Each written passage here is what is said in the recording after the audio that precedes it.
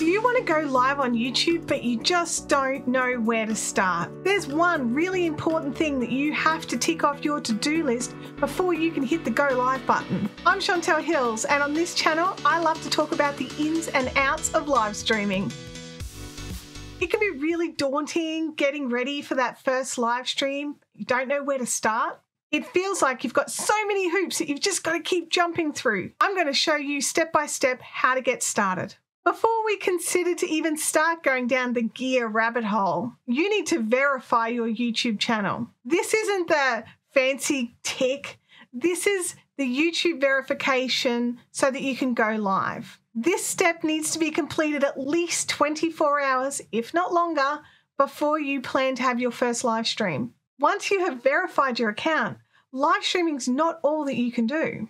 You can also upload videos that are longer than 15 minutes. You can add custom thumbnails. And you can appeal content ID claims. Later in the video, we're going to have a little look through of the types of things you can't live stream and what the potential outcomes of those would be. The very first thing that you need to do to set up your YouTube channel is to get verified. And it's really simple all you need to do is go to www.youtube.com forward slash verify and follow the prompts. There's one more thing that you need to check before you can go live, and that's to ensure that you've had no restrictions on your YouTube channel for 90 days. Now that this is all done, you just need to wait the 24 hours, jump back in, double check you've got your green verified tick, and then you're ready to go live. So, now that you can live stream, what sorts of things can't you live stream? Just like uploaded videos on YouTube, live streams have to follow the same guidelines and rules.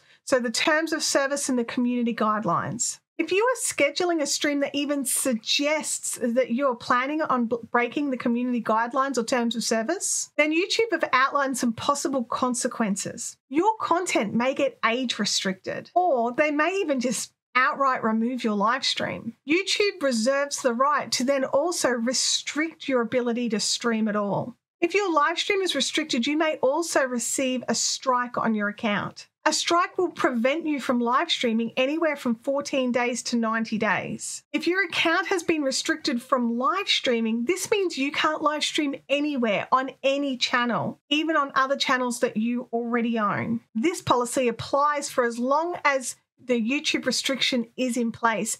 And YouTube are really clever at working out if it's the same place you're streaming from. Violation of the restriction, as in trying to stream or continuing to stream on other channels, is considered circumvention, which is against YouTube's terms of service. And it actually may result in the termination of your account. And you also need to remember that YouTube can work out if you're logging into other accounts, and they may also terminate those accounts as the agreement is with you as the individual and you have received the strike. Taking this a little bit forward, the other thing to remember is that there's a possibility that every time you create a new account, YouTube could just come in and once they work out it's you, they could actually just delete the account as well.